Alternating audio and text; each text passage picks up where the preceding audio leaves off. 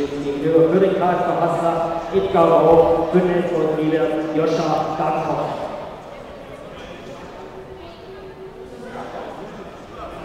Ja, Grimmspal da